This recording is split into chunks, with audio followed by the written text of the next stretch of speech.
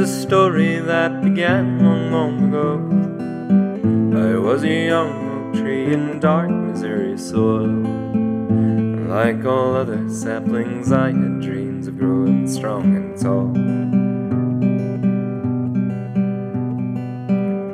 One day, a rebel with a bullet in his chest hung his rifle upon my limbs, he laid to rest.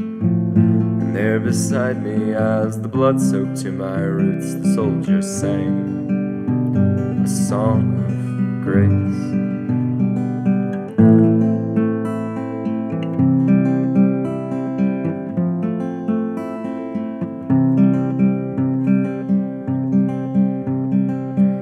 The heavy rifle bowed me over to the ground. Two years I stayed this way until the rifle fell.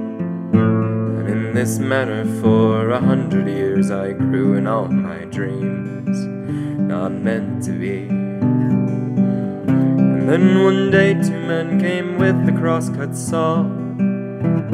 I spoke of how my arch could hold a weight so strong.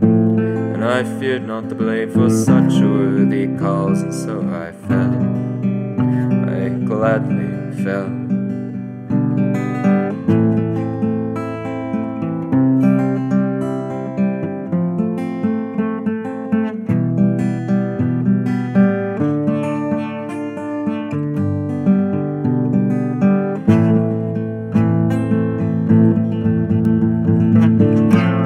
Three winter days aboard a northbound train.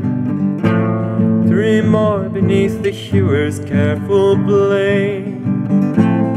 And while he worked, he praised my rich red grain. Perhaps it was the soldier's blood that day. Now on the wooden arch I hold a mighty bell. Stocks before me cracked, yet I shall never fail. Up in a tall cathedral high above my dreams of long ago.